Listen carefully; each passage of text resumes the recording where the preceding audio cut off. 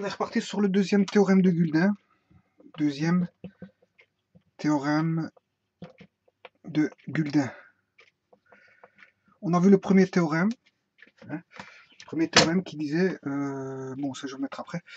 Donc ici, le volume... Le, deuxième, dit... Le volume engendré par la rotation d'une surface plane homogène qui ne, traverse pas est égal au produit de la surface génératrice par la longueur de sa circonférence décrite par le centre de gravité de cette euh, de cette surface. En d'autres termes, en d'autres termes, auparavant j'avais une ligne, une ligne plane, avec, je veux dire, euh, un axe de révolution. On avait fixé, euh, on avait fixé l'axe. Bon, je pouvais pas prendre un axe de révolution delta qui coupait la ligne AB, bien sûr, ça c'était, on, ne peut pas. Pour le théorème de Guldin, ça ne marchera pas. Donc je m'arrange à ce que l'axe delta ne coupe pas l'axe AB. Enfin, le la longueur euh, décrite par la ligne AB. Bon, ici je vais l'axe Y, l'axe des X ici, voilà. Et là, quand Guldin disait que, le premier théorème disait que quand on fait tourner, je veux dire, autour d'un axe de révolution une certaine ligne, qu'est-ce qu'on avait? Ben, On avait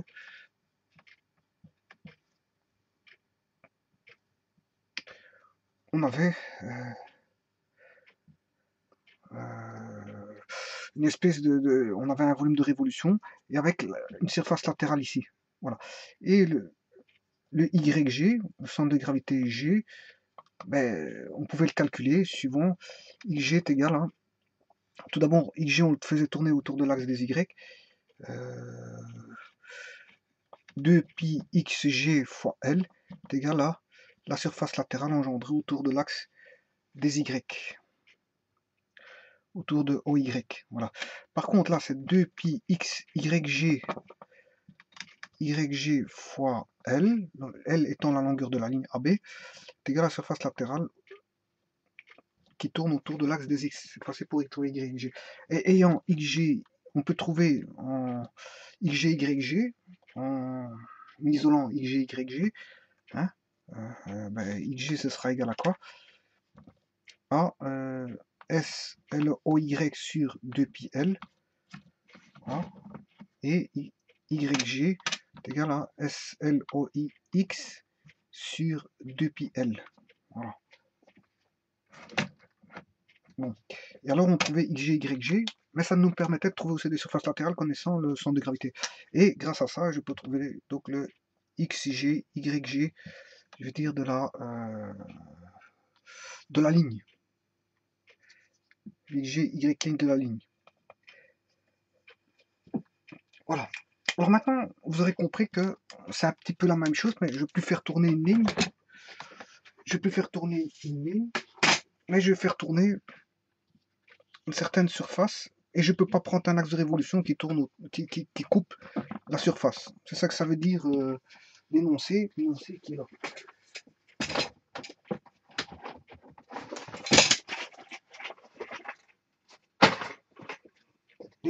Qui est ici.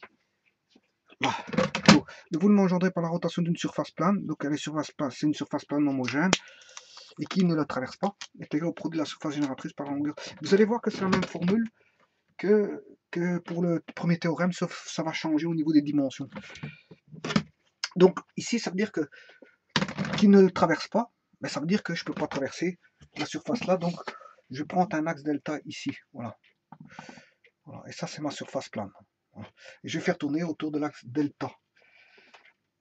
Alors, ça c'est la surface S, et je vais mettre l'axe des X comme ceci, et l'axe des Y ici, avec l'origine ici, donc je prends un, système d'axe euh, standard, standard, qui n'est pas comme ceci, hein, qui est orthonormé tout d'abord, hein, qui a la même, même base ici, enfin, même, mêmes unités d'échelle pour l'unité ici, 1, 1, voilà, 2, et qui est perpendiculaire ici, donc euh, c'est un système orthonormé, mais un système orthonormé qui n'est pas n'importe comment, qui n'est pas comme ça, qui n'est pas comme ceci, mais qui est dirigé l'axe dx suivant l'axe delta. Et dans ce cas-ci, j'ai pris simple, j'ai pris l'axe delta horizontal et donc l'axe des x horizontal. Voilà. Alors, ici, on avait décomposé l'élément de ligne en, en élément infinitésimal dl. Ici, je vais décomposer en ds et chaque ds aura sa coordonnée yi. En d'autres termes, cette fois-ci, auparavant, on avait pris... Euh, ici, je vais faire tourner autour de l'axe des x. Donc, je vais obtenir le y, hein, YG. Donc, YG, on sait bien que c'est somme des YI, non pas DL, parce qu'ici, je pars d'éléments de surface, mais DS sur la somme des DS. Voilà. Et alors, euh, on fait comme l'autre démonstration. Ben, l'autre démonstration, on ramenait la somme de ds dans le membre de gauche. Et si on ramène dans le membre de gauche, on a YG fois donc la somme des ds est égale à ceci. Et donc YG et la somme de tous les ds, ben, on a compris que ça va, être, ça va donner la surface totale. Donc c'est la surface, euh, la surface totale engendrée ici. Euh, la, surface totale que l'on a en présence. Donc c'est somme des YI ds. Et l'astuce encore une fois de Guldin, c'est de multiplier donc part et d'autre par la valeur de pi. Alors, j'avais bien spécifié que deux fois euh, une somme d'éléments est égale à la somme d'éléments fois 2 pi à chaque fois. Donc, en d'autres termes, si j'ai 2 pi fois A plus B plus C, plus 3 petits points, j'aurai 2 pi A plus 2 pi B plus 2 pi C, etc. Donc, euh, le, 2 pi va se trouver dans l'élément sommatoire. Donc, on aura ici, ça c'est égal à somme des 2 pi y i ds. Voilà. Alors, qu'est-ce que c'est que ceci? En fait, c'est le volume. Cette fois-ci, c'est le volume en tous ces éléments, c'est les éléments là qu'on va faire tourner autour de l'axe des x, hein, vous donner un volume. Cette fois-ci, c'est euh, le ds, ds fois y, y fois ds, ça donne un volume, fois 2pi, c'est le volume engendré, voilà. Donc c'est le volume engendré par la rotation de ds autour de l'axe euh, OX. Et la somme de ces volumes, c'est le volume engendré par S en tournant autour de OX. Donc en fait, j'ai le, le, volume complet en fait. Voilà. Donc c'est le volume complet. J'obtiens le volume. Parce que DS, c'est l'élément de surface ici. Euh, c'est la surface ici. Avant, on faisait fois DL. Hein. ça n'a rien à voir. DL fois YI donnait un DL 2pi, dans le premier théorème de Guldin, 2pi yi dl, c'était ça fois la circonférence. Puisque la circonférence, c'est 2pi yi fois le dl, ben, ça donnait, on va dire, euh, une surface latérale. Alors qu'ici, 2pi yi fois ds, hein, un élément de surface qui va faire, qui va tourner, ben, ça va donner un volume. Là, voilà, 2pi yi, ça va donner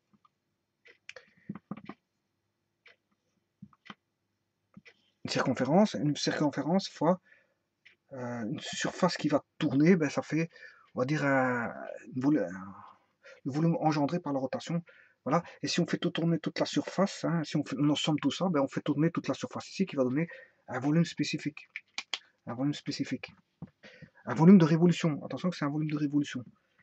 Voilà, autant dire que ici on aura quelque chose un peu spécial, hein, un peu spécial, voilà. Et on aura un cru, bien sûr, avec un cru ici. On aura un volume de révolution.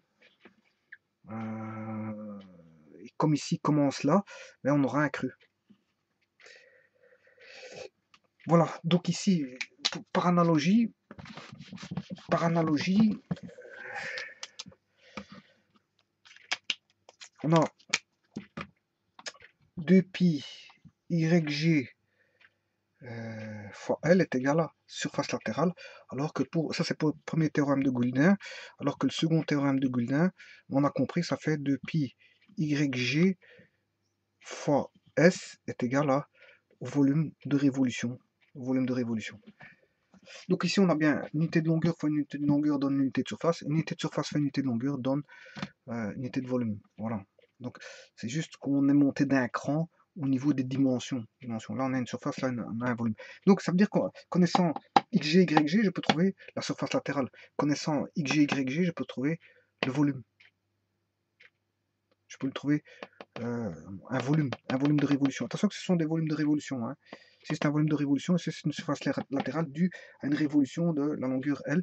Là, c'est un volume de révolution dû à la rotation de la surface S autour de l'axe d'un axe. C'est juste, c'est les mêmes formules, si ce n'est qu'on est monté d'une dimension en plus. Ici, on a une longueur, là, on a une surface.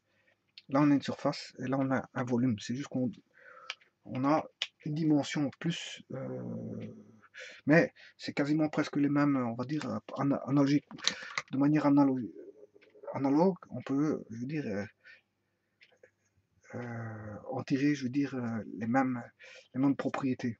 Si ce n'est que on a à une dimension plus là par rapport à là. Parce que là, c'est une surface, là on a un volume, c'est une dimension plus grande. Là, une, longueur, là, une surface, c'est une dimension plus grande. Et ce qui va tourner, c'est l'élément de gauche. Ici, dans ce cas-ci, qu'est-ce qui va tourner? C'est la ligne. Là, qu'est-ce qui va tourner? C'est la surface. Pour obtenir quoi? Une surface latérale de révolution. Pour obtenir quoi? Un volume de révolution.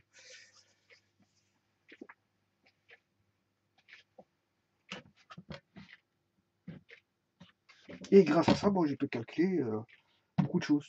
Euh, soit des volumes, soit des surfaces, soit des centres de gravité. Bien sûr, pour trouver le XG, c'est facile. Hein. il suffit de faire la même chose et tourner autour de l'axe Y. Voilà. Toujours bien regarder s'il n'y a pas des symétries, parce que les symétries facilitent les choses. Voilà, je vous remercie beaucoup.